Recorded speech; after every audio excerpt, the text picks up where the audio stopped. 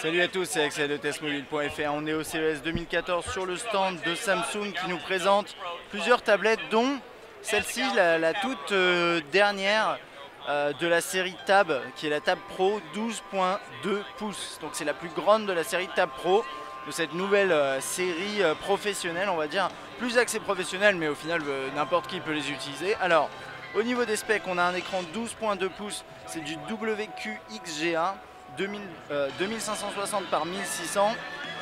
On a Android 4.4 KitKat avec, comme vous pouvez le voir, une surcouche, 3 Go de RAM, c'est de la LPDDR3, 32 Go de mémoire interne, 64 Go. Il y a deux possibilités, vous pouvez aussi rajouter une micro SD pour ajouter jusqu'à 64 Go, ce qui est pas mal un appareil photo à l'arrière 8 mégapixels, 2 mégapixels à l'avant et une batterie 9500 mAh. Vous avez une version Wi-Fi qui pèse 732 grammes et une version 3G LTE qui pèse 740. Je pense que là, la version qu'on a, bah, on va le voir hein, tout de suite. Je pense que c'est la version LTE, je suis pas sûr.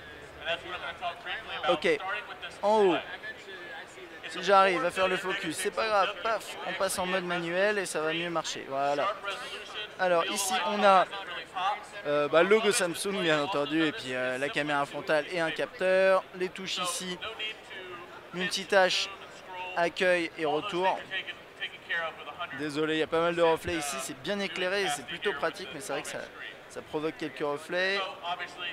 Juste ici, on a ce qui est SIM, voilà, là c'est bon.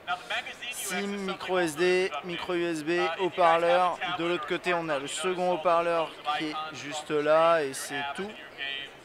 À l'arrière, en dessous, on n'a rien à signaler. Et en haut, le port, euh, ça c'est du infrarouge, il y a je pense que c'est un, ouais, un micro on-off et le bouton de volume. À l'arrière, take multitasking to a l'appareil photo juste ici.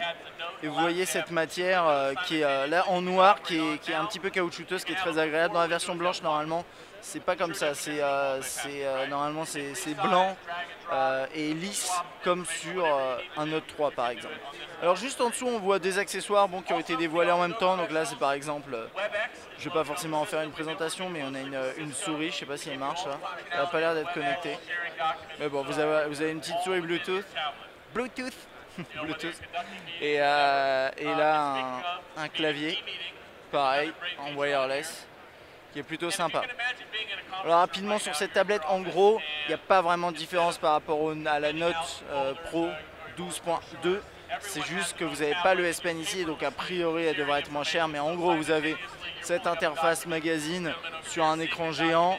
Vous avez le multitâche ici. Oups, non, ça c'est pas le multitâche puisqu'il est là, désolé. Voilà. Vous avez Google Now ici, vous avez le multitâche de cette façon-là. Vous avez multi-window. Et il me semble qu'on peut s'arrêter qu'à 2, mais peut-être non, peut-être peut-être 4. Ouais, on peut aller jusqu'à 4. Bon là, je peux en mettre une dernière juste ici. On a les applications principales dans le menu juste là, avec S-Planner, etc. Euh, je regarde juste, on a quand même S-Note, mais qui est fait pour être utilisé avec le doigt. Donc on n'a pas le S Pen, mais euh, au final on a quand même très très peu de différence entre les deux, hein, clairement. On a quand même Nox, on a Office via euh, Ashworld, etc. Ashworld, ça s'appelle comment déjà? Encom Office. Voilà, c'est la nouvelle euh, série, la nouvelle euh, suite logicielle qui est utilisée. Puis sinon, pour le reste, hein, c'est vraiment voilà cette, cet affichage magazine qui est plutôt élégant, le calendrier, euh, la musique. C'est des widgets, hein, vous, pouvez les, vous pouvez les changer de place, vous pouvez les redimensionner si vous avez envie. C'est bien fait, moi je trouve ça rend très très bien. Donc voilà, ça c'est pour la Galaxy Tab Pro 12.2. Je ne sais pas encore combien elle coûte, je ne sais pas encore sont, euh, quelle est la disponibilité du produit. On le saura prochainement et bien sûr on vous informera quand on aura l'information. Voilà, si vous avez des questions, n'hésitez pas. A bientôt